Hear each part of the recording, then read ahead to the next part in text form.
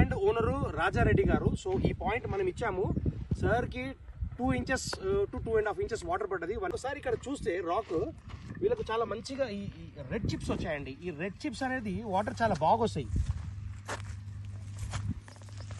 ఈ రాళ్ళల్లో మీకు red chips వస్తాయి. అంటే నల్లరాయి మీద ఎర్రటి మచ్చలు వస్తాయి. ఈ ఎర్రటి మచ్చలు ఉన్న రాళ్ళల్లో వాటర్ అనేది ఎక్కువ వస్తుంది అనమాట